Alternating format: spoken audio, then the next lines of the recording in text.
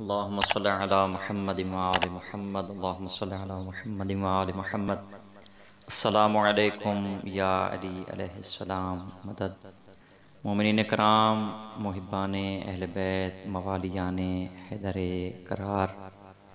آنے والا مہینہ مہ رمضان المبارک جس کے فضائل، جس کے مناقب رسول اکرم صلی اللہ علیہ وآلہ وسلم نے مہ رمضان المبارک کے آنے سے پہلے آخری جمعہ میں رسول اکرم صلی اللہ علیہ وآلہ وسلم نے ایک بہت ہی طویل خطبہ دیا جس کو خطبہ شوبانیہ کے نام سے یاد کیا جاتا ہے۔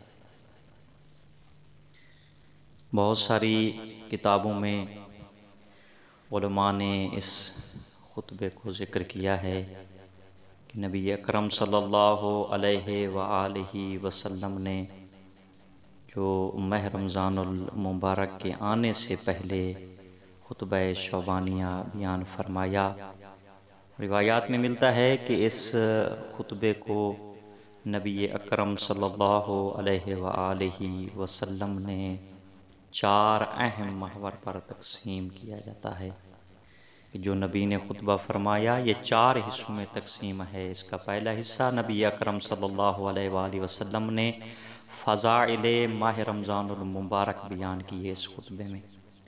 دوسرا حصے میں اعمال مہ رمضان المبارک بیان کیے۔ اور تیسرے حصے میں تقوی اور پرہیزگاری۔ اور چوتھے حصے میں امیر المؤمنین مولا متقیان جناب علی ابن ابی طالب علیہ السلام کا تعارف رسالت ماب نے پیش کیا ہے۔ رسول فرماتے ہیں ایوہ الناس، انہو قد اقبلا الیکم شہر اللہ بالبرکہ والرحمہ والمغفرہ۔ اے لوگو،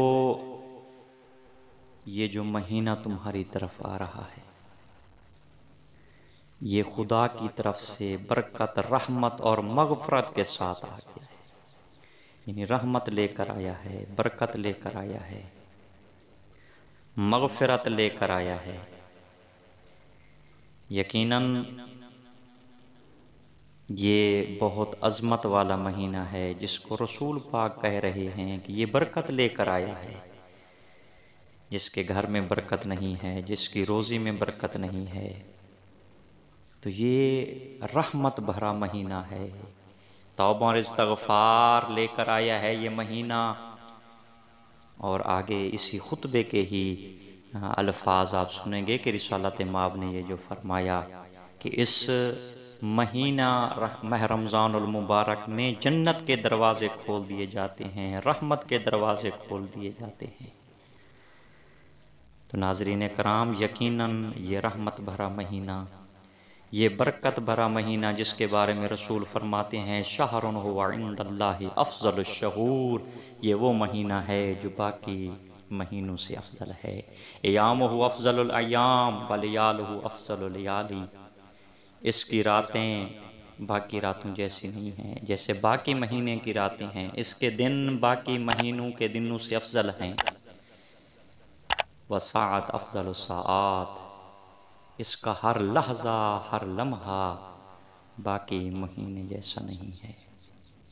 اور اس سے اگلے والا عظیم جملہ جو وما ینت کو ان الحوا کے مصداق نبی نے فرمایا دوڑے تم فی ہے الا ضیافت اللہ، کہ یہ مہ رمضان المبارک ایسا مہینہ ہے کہ مالک لم یزل کی طرف سے ضیافت کی دعوت دی جاتی ہے کہ مومنین کو خدا کی مہمانی کی دعوت دی گئی ہے۔ یقیناً ناظرین کرام، محبان اہل بیت، اگر کوئی عام بندہ کسی کو بلاتا ہے اپنی ضیافت کے طور پر، تو بندہ کہتا ہے کہ فلاں منصب کے اوپر فیض بندے نے، فلاں اعلیٰ مراتب کے بندے نے مجھ کو اپنا مہمانی کے طور پہ بلایا ہے۔ دیکھیں تو صحیح مالک آپ کو مہمانی کے طور پہ دعوت دے رہا ہے، آئیں تو صحیح اس مہینے میں۔ کرامت الہی کا اہل قرار دیا گیا ہے۔ یہ ماہ رمضان المبارک کی سب سے برتر اور بہت ہی اعلیٰ فضیلت ہے کہ ایک کریم صاحب خانہ یعنی مہمان کے طور پہ ہم کو بلا رہا ہے کہ ہم بارگاہ الہی میں جائیں، اس مالک لم یزل کی بارگاہ الہی میں دعا مانگیں، اس مہینے میں اپنے گناہوں کی معافی مانگیں۔ اور اس سے اگلے والے عظیم جملے، انفسکم فی ہے تسبیح کہ اگر آپ مہ رمضان المبارک میں سانس لیں گے، تو آپ کا ایک سانس تسبیح کا ثواب رکھتا ہے۔ نومکم فی ہے عبادہ اس اللہ کے نیک مہینے میں ہمارا سونا عبادت۔ ہے یقیناً عزیزان گرامی، بہت ہی عظمت والا مہینہ عمل فی ہے مقبول اس میں جو بھی ہم عمل کریں گے، بارگاہ الہی میں قبول ہوں گے۔ دعا اکم فی ہے مستجاب جو ہم دعا مانگیں گے، وہ ہماری دعا مستجاب ہوگی۔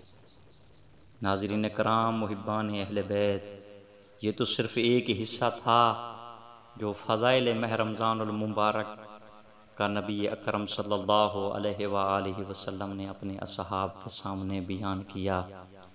یقیناً ہم کوشش کریں گے کہ اس کے اگلے بھی مہ رمضان المبارک کے اعمال کے بارے میں جو نبی پاک نے فرمایا، تقوی اور پرہیزگاری کی طرف اور فضائل اور تعارف امیر المؤمنین جو اس خطبہ میں بیان کیا۔ مومنین تک پہنچانے کی کوشش کریں گے۔ مومنین کرام محبان اہل بیت آخر میں آپ سے یہی عرض ہے کہ آپ ہمارے چینل عرض نجف کو زیادہ سے زیادہ سبسکرائب کریں تاکہ مومنین تک یہ دین مبین کا پیغام پہنچ سکے۔ محبان اہل بیت دنیا کے جس جس کونے میں بھی رہتے ہیں، ہم جو بھی بات پہنچاتے ہیں ایم ایم معصومین علیہ السلاۃ والسلام کا یہ فرمان ہوتا ہے یا اس نبی کا قول ہوتا ہے جو وما ینت کو ان الحوا کے مشتاق ہیں۔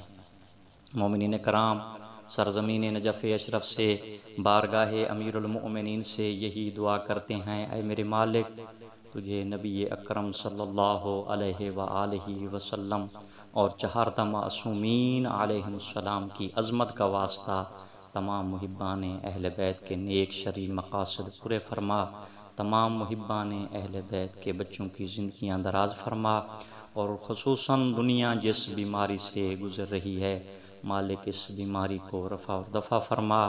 تمام موالیان حیدر قرار کو ایم معصومین علیہ السلام کی زیارت کا شرف نصیب فرما۔ دنیا میں زیارت امام حسین اور آخرت میں شفاعت مظلوم کربلا۔ إمام حسین علیہ السلام تمام محبان اہل بیت کو نصیب فرما۔ اللہم صلی علی محمد وآل محمد وعجل فرجہ۔